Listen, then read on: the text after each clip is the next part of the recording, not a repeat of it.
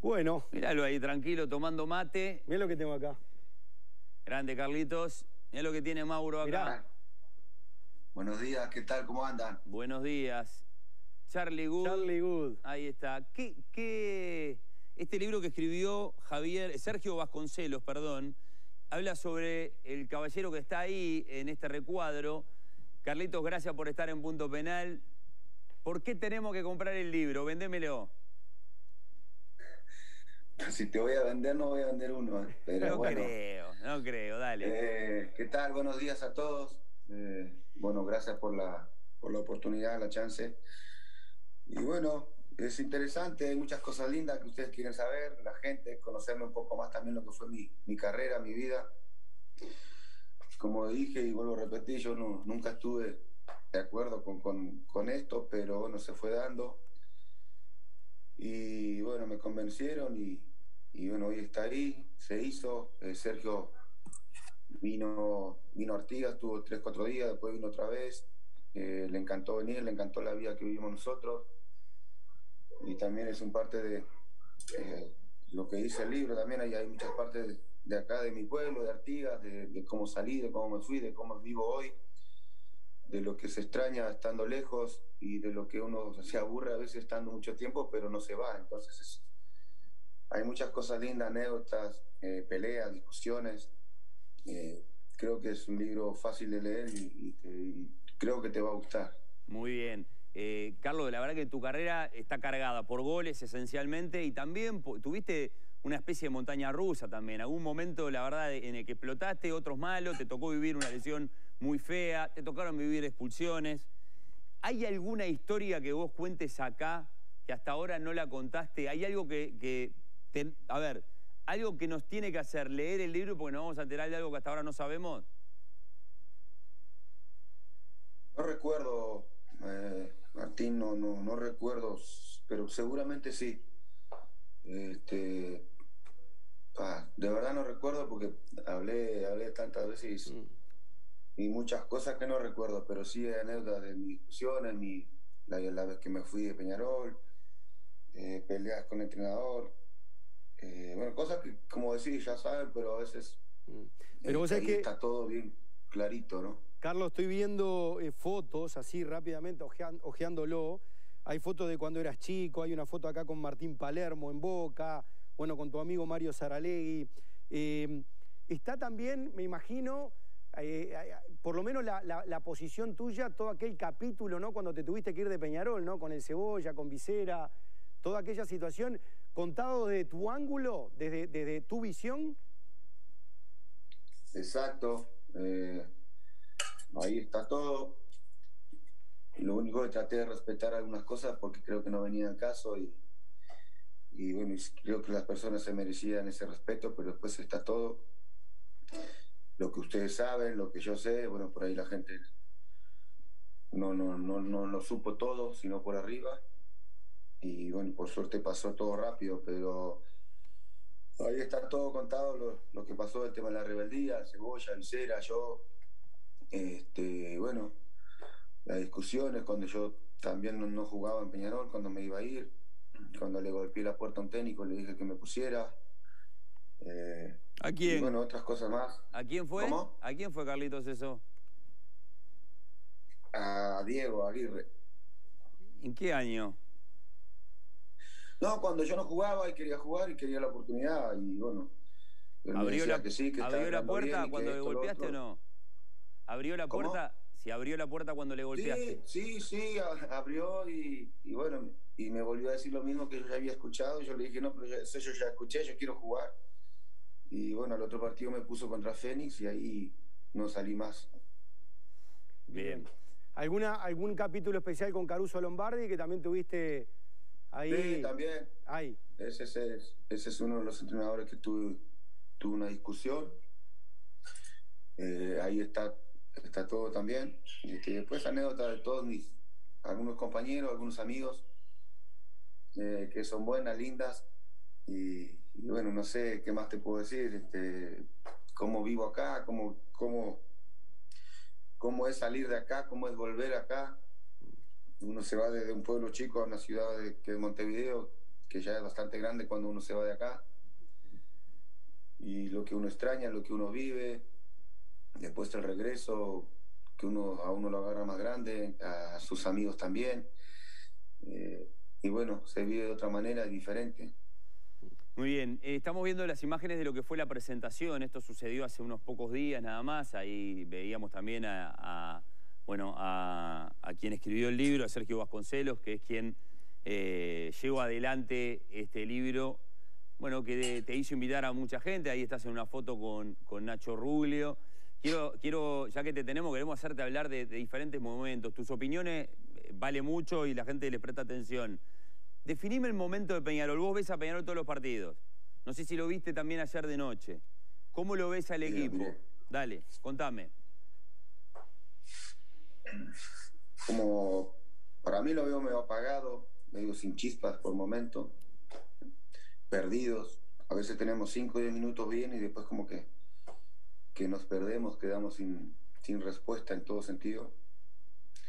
Justo ayer este, estábamos mirando con un amigo y, decíamos, no, no Villa Española no tenía cómo empatarnos, no, no, no había, este, porque un equipo que no estaba jugando bien se puso atrás y aguantó perder 1 a 0 para ellos, para mí estaba bien lo que estaba viendo yo y bueno, pues, y no sé por qué me dio aquello que le dije, este equipo no va a empatar faltando un minuto y yo le decía, no, imposible. Y se dio de la manera que menos esperábamos y eso pasa factura porque se viene un partido muy importante, ¿no? Y ya veías un equipo que, que de a rato anda bien, de a rato se cae, este, no, no, por ahí nos falta ese jugador que, bueno, no está Torres, que es el, la manija nuestra, que el, que hace jugar el equipo, el que te cambia de ritmo. Este, bueno, ayer era solo Canario arriba y, y a veces es complicado, ¿no? A veces nos pasa como en la selección que muchas veces este, dependíamos solo de Suárez y Suárez nos chocaba, nos peleaba con todos, este, no hacíamos un gol y era clarísimo cuando Suárez no estuvo un par de partidos. Y creo que Peñarol le pasa lo mismo y no está Torres y como que nos faltan muchísimas cosas, muchos muchos jugadores. Y también el cambio de, de oncena, ¿no? A todos los, partidos que te cambien dos tres, dos, tres jugadores por ahí, como que te cuesta también que, que el equipo vaya agarrando la, lo que pide el entrenador, lo que quiere, quizás por lesiones o enfermedades, uno nunca sabe también. A veces, Carlos, vos que, vos que lo experimentaste como jugador de, Peñarol y de otros equipos grandes, eh, el jugador a veces no sale convencido de que el rival es tan inferior, porque la verdad que Villa Española, Carlos, tiene enormes dificultades, ¿viste? Y salís pensando que lo vas a ganar y, eso termina siendo tu propio problema. Lo subestimas mucho y, y sin querer, ¿no? Obviamente este, y es como dicen ustedes, yo Bolivia-Uruguay creía que, Uruguay le ganaba 5-0. Y ayer también, porque no, no, veo un Villa Española con un equipo que, hoy pueda, o sea, hacerle partido a Peñarol, pero bueno, lo empató, lo hizo, es una realidad. Por ahí la, lo subestimaron demasiado. Eh, y bueno, no golpeó cuando tuvo que golpear. ¿Y el gol cómo lo viste, el gol del final? Bueno, ahí vi las imágenes después de Dawson eh, reclamándole a un, compañero, pero me parece que, con todo respeto, le debe saber mucho más de esa posición que yo, lógicamente, pero me parece que ahí es un error de él, ¿no? De cálculo, de, por ahí achicar antes de que saliera la pelota. Y después creo que se le vino encima cuando vio que la pelota pasaba. No sé si había viento o no ayer, pero me parece que ahí fue un error del arquero, más allá de que te digan es cuando vos la tenés la, pelota en la cabeza y te dicen mía, si la tenés que sacar, la vas a sacar, no la puedes dejar. Pero bueno, para mí fue un error del arquero. Y, lo otro, como, como un referente de Peñarol, Carlos, a veces los rivales son tan inferiores que no le ganás, pero por ahí las excusas es el arbitraje, que hubo situaciones donde perjudicaron a Peñarol. ¿Es válido esto ante un rival tan inferior? o lo primero que hay que mirar son los errores propios? Pero es lo que nunca vamos a mirar, nunca vamos a ser autocríticos con nosotros, siempre tenemos que tener un tercero culpable y es así. Me parece que, ayer salimos a jugar con un equipo ya ganándole 3 a 0 en el primer tiempo y le viniste a 0 en el segundo tiempo, entonces eh, es complicado y, más cuando viene un clásico de atrás que lo tenés que preparar de la mejor manera y la mejor preparación es ganar el partido anterior, como lo hizo Nacional. No jugando bien, arrancó mal, pero bueno, se encuentra con un gol temprano y después cambia. Y eso, quieras o no, influye mucho. Eh, Carlos, a ver, Ana Inés, ¿qué le quería decir a Carlitos? Carlitos, ¿cómo andás? Ana Inés por acá. ¿Cómo andás, Che? A Carlitos, ¿Todo no- bien? ¿saben que grabé un comercial con Carlitos Bueno? Me hizo la tarde, fue, se robó todas las miradas. ¿Cuánto, cuánto hace eso? ¿Hace Y hace tiempo? como dos años, ¿no? Sí, Aproximadamente. Sí, sí. Los Ca- hice reír bastante.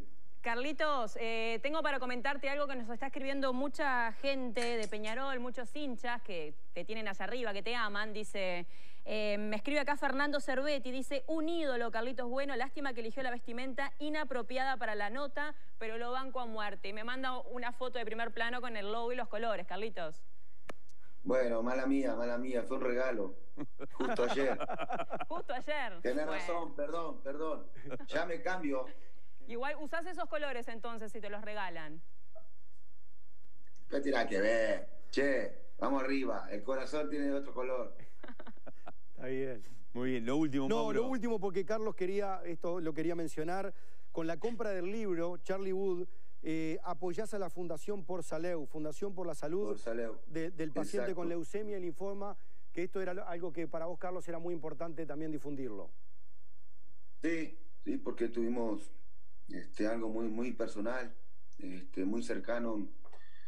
Este, el hijo de mi amigo estuvo, estuvo con leucemia hace muchos años atrás y bueno, hoy gracias a Dios está con nosotros, está súper bien y fueron, eh, esa gente lo ayudó muchísimo, lo apoyó muchísimo y, bueno, creo que hemos pasado un año horrible con él y, y bueno, agradecer con ese gesto me pare- nos pareció hermoso. Eh, yo lo viví, yo estuve con, con el chule, como le decimos nosotros. Y bueno, hoy tenemos que agradecer a toda esa gente porque hoy lo tenemos con nosotros, un chico bárbaro. Es el hijo de mi amigo Vicente, el, el que es parte de este, de este proyecto. Y bueno, un porcentaje en, en cada venta de cada libro eh, es para Leo y bueno, estamos contentos de, de poder participar y ser parte de algo muy lindo que, que lo están haciendo ellos para salvar muchas vidas. Muy bien, muy bien, Carlitos. Un abrazo de verdad, gracias por estar este domingo con nosotros. ¿eh? Mucho éxito con el Bueno, libro. gracias a todos, bueno, que tengan un buen domingo, vamos arriba. Muchas gracias, Bien, Carlos. Gracias, eh. Carlos. Bueno, desde Artigas con nosotros.